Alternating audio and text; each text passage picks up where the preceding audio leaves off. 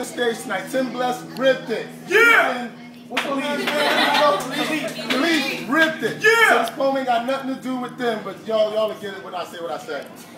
Yeah, you right there. Yeah, you ripped it, bro. You ripped it. You ripped it. Yeah!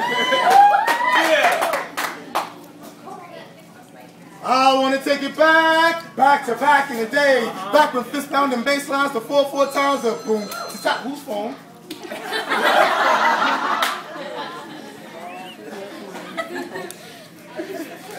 Get it, Christopher.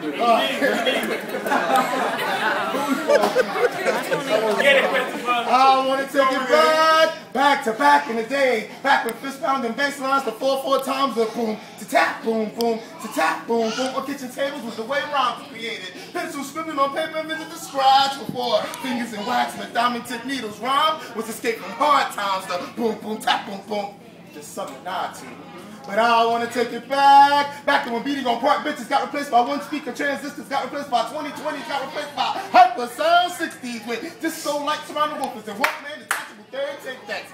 Ciphers, previous to first period, placed to dozens. As MCs displayed more techniques than 1,200 ways to diss with vocabulary. The word was supreme. The beat just something to dance to. And gear only had to be fresh before it had to be labeled. But that was then, this is now, now I want to take it back. Back to when fighting was a serious thing. When DJs cut, clipped, and mixed rock with R&B for the sake of originality. And grandmasters and grand wizards made sound signatures on the ever-changing doctrine called hip-hop.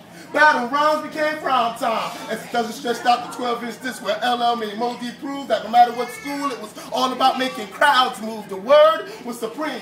The mm, mm, mm, mm, mm, mm, just something to dance to. Yeah. But that was in this is not now. I want to take it back back to when Pop Color Isaiah and Castapolos come up by BVDs, tucked into leads and Shoujo. ID Belt Buffer was noticeable in the amount of views from the Bronx or the Bridge. Adidas is marketing scheme ensured that two kings from Queens ruled. Locking was a fat way to move. Or it was a popularized way to claim being spiritual. And Salt-N-Pepa encouraged us to talk about that, along with the respect and responsibility that came with having it. The word was supreme. The mm, mm, mm, mm, mm, mm, mm, mm, mm, mm. Just something to dance to. But that was then, this is not now. I want to take it back back because industry now decides what's in the streets. As the babies who had babies then have now relinquished hip hop, the babies who speak into fruition, hustlers anthems and sexual empowerment of the body before the mind. Human society arise when single mother parenting and black on black crime. The movers and shakers have reduced themselves to stars of three-minute movies of ass shaking when we popularize prison systems instead of intellectualism, calling ourselves D-Block instead of Morehouse.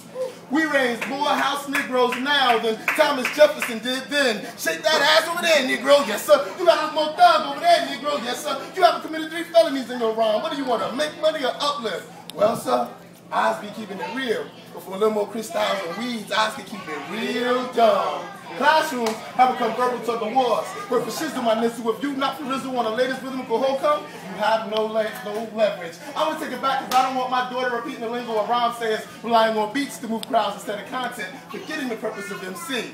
Motivate constituents to move Oh, consciousness to more, more constructive ways to make changes. I want to take it back to when days were greater, even though we had Reagan. Parents had more say so on how children were raised, and hip hop was more conscious of the things it would say. The streets my kids play is an avenue called rap. We need to get like the neighborhood watch of the past and take it back. Yeah! Yo, when I told you dropping, dropping knowledge, dropped the knowledge, man. On 14, the band was going to go, man. Christopher, they got a wedding to be at, man. We didn't want to interrupt your set, man, but I think the crowd was with you, though. You know what I mean? Yo, crowd, were you with Christopher Johnson? If y'all heard him, I heard what he was saying. Mr. some man. All right, so we going to have a movie.